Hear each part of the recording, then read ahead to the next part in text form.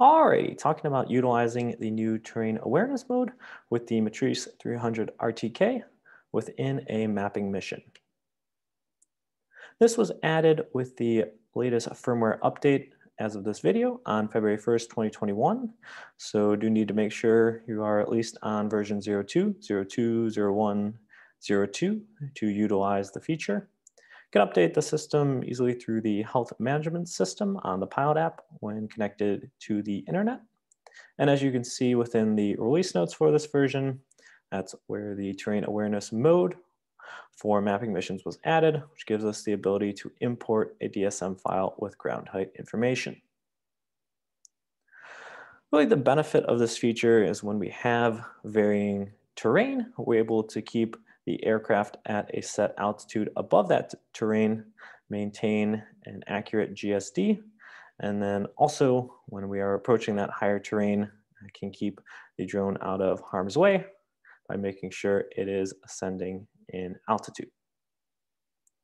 So first off, uh, just some guidelines. If you're creating a DSM and kind of already have this process down, DSM stands for Digital Surface Model, represents our surface and any objects that are going to be on that surface. And when we're importing our DSM file, it needs to be in the TIFF format, it needs to be 20 megabytes or smaller with spatial resolution less than 10 meters utilize WGS84 and ES, EPSG code 4326 for our coordinate reference system. And then ultimately make sure to have a buffer for your DSM area so you're able to plan the flight within the DSM area. It gets a little bit tricky and problematic if part of our flight area is within the DSM area and part of it is not. So always better to give yourself a little room for error. If you need to create a DSM, you can do that with DJI Terra or third-party software based on a previous UAS mapping mission. In Terra, you'd create a new 2D map mission and import the images. For the output coordinate settings, select WGS84 and EPSG code 4326. Mapping scene, you want to select fruit tree, and for a resolution, it would be low. Otherwise, the DSM file generated may be too large, so seem a bit odd selecting fruit tree on there, but just the best avenue to complete that.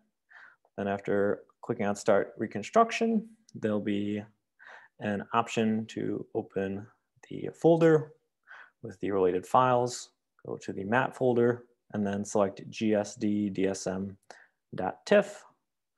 After we've created our DSM, we're gonna place that on the SD card, insert that into the remote controller. We'll go into mission flight, create a route, and then mapping. When we open up our mapping sidebar, can toggle terrain follow on, and then select DSM file. There'll be a little arrow on the right side. Click on that, and then in the top right, there's a plus button to import a new DSM file. It's going to be from the SD card. So we'll click on that and then grab the TIFF file from our SD card. You'll get a notification, DSM file imported successfully. If you're not seeing that notification, do confirm the previous parameters that we outlined are all correct, including coordinate reference system, size, and resolution. You'll then be able to toggle the box next to the DSM file on, and that's going to auto rearrange our map focus to the area of the DSM, which is nice. You don't have to zoom out and zoom in and search for it.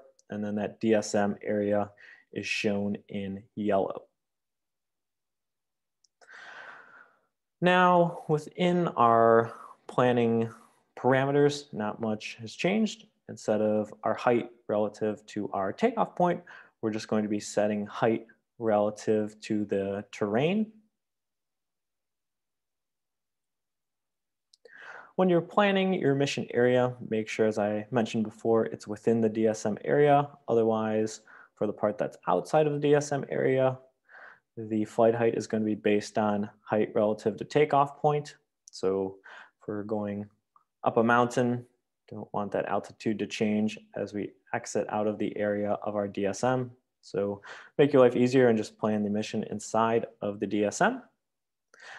The altitude of the aircraft during the flight is color coordinated with the flight lines on the map. So you can see on the bottom there with the altitude going between 433 and 493 meters, that's calculated by adding the DSM height plus the flight height over the terrain. And then you can see pink, we're at 433 meters, and it goes up to the red at 493 meters. And then just an additional note for the P1, currently the smart oblique capture function cannot be enabled when terrain follow mode is enabled. When we're actually executing the mission then, we're gonna want to make sure to utilize RTK, and we'll just show you a quick video on the next slide as well of it in action. So we can see our video starting to play here and the drone's altitude starting at 160 feet and continuing to rise. You can see the upcoming waypoints there, those blue diamonds the drone is approaching.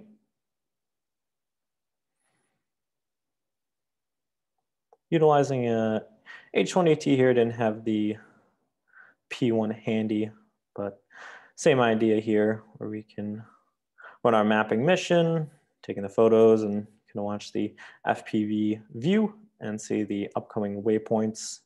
See our altitude continues to climb and as we approach this rise in terrain with a hill, mountain, whatever you want to call it, our altitude is going to continue to rise to compensate for the terrain.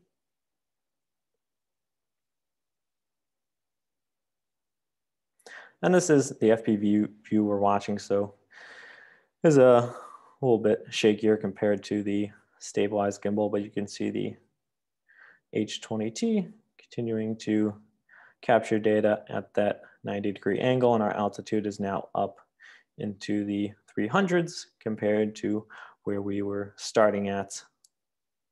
So pretty much sums up the feature here, how you create the DSM, how you import it, and what it's gonna look like when you run a mission. Uh, one thing to note is if you plan a DSM mission beforehand and then you come back to it. Uh, you might not see the colored flight lines, but if you go to edit the mission, save it, and then play the mission, you will see the colored flight lines. Uh, either way, if you see the colored flight lines or just regular flight lines, it will still complete the mission with the proper terrain awareness there. Uh, but just one thing to note with the current firmware. So thanks.